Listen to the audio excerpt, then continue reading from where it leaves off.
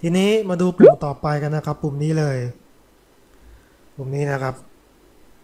ปุ่มนี้คืออะไร ปุ่มนี้คือการแสดงผลหน้าจอของตัวชิ้นงานนะครับ ว่าจะแสดงผลในลักษณะของเบอร์สเปกทีฟหรือว่าเป็นแบบไอโซเมตริกนะครับ นี่ครับ สังเกตเส้นกรีดด้านล่างก็ได้ครับเบอร์สเปกทีฟคืออะไรเบอร์สเปกทีฟคือลักษณะของเส้นนำสายตานะครับ การมอง การมองในลักษณะของนำสายตา เช่นมองห้องเป็นลักษณะของ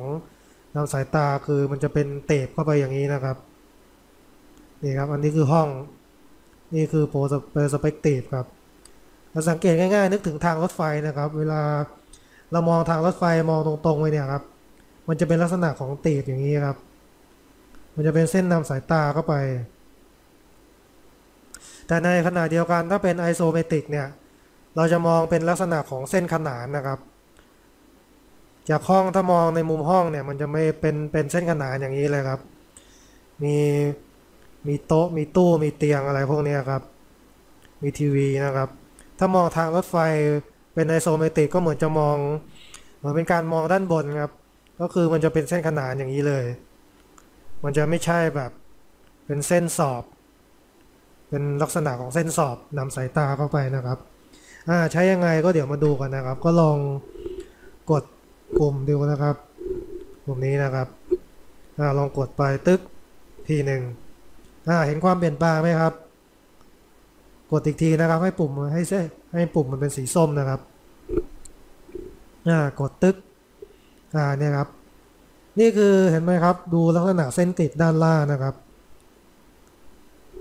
นี่ครับเส้นกริดด้านล่างนี้ จะเห็นชัด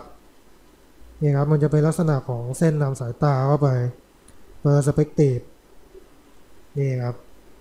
ในกรณีที่ปุ่มนี้เป็นสีส้มนะครับ ก็คือเปิดโหมดเปอร์สเปกทีฟเอาไว้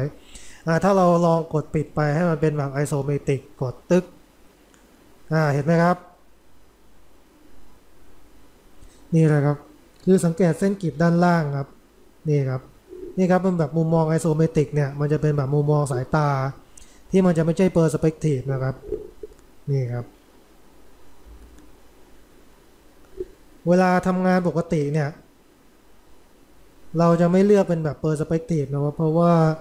อัตราการที่มองงานเนี่ยมันจะเพี้ยนไปจากปกตินะครับ เวลาเราทำงาน ให้เราปิดโหมด Perspective ไว้จะดีที่สุดครับแล้วใช้โหมด Isometric เวลาทำงานอะไรพวกนี้ครับสัดส่วนมันจะตรงนะครับสัดส่วนมันจะเหมือนปกติแต่ถ้าเราเปิดโหมด Perspective เมื่อไหร่เนี่ยสัดส่วนมันจะคือมันจะเพี้ยนครับแล้วมัน มันสัดส่วนเดิมมันไม่ได้เพี้ยนครับ แต่การมุมมองในการมองงาน แล้วทำงานในตัวชิ้นงานเนี่ย มันจะเพี้ยนแล้วมันไม่ปกติครับเพราะผมไม่ไม่แนะนำให้ใช้ ไม่แนะนำให้เปิดในโหมดนี้ไว้นะครับ ให้ปิดโหมดเปอร์เป็นสเปกทีฟไปนะครับ แต่ถ้าใครถนัดแบบเปอร์สเปกทีฟก็สามารถใช้ได้เหมือนกันนะครับ ก็ลองไปประยุกต์ใช้ปรับใช้ดูครับ อันนี้ขึ้นอยู่กับเทคนิคของแต่ละท่านครับ